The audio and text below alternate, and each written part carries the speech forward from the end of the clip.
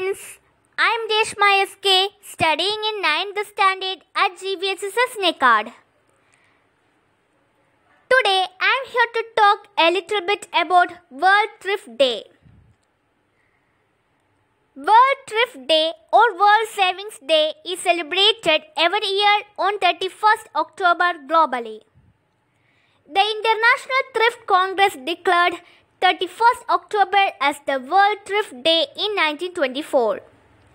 In India, due to death of late Prime Minister Indira Gandhi on the same day in 1984, this day is being celebrated on 13th October. The first World Thrift Day was celebrated in 1925.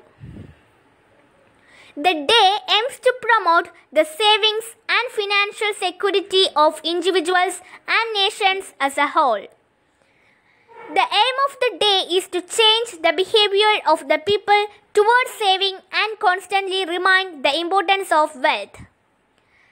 Saving wealth helps to start a business, get a good education, and avail good health care treatment.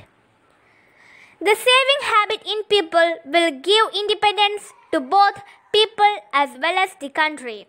It is a worldwide celebration well supported by savings and responsible retail banks, schools, women's association, etc.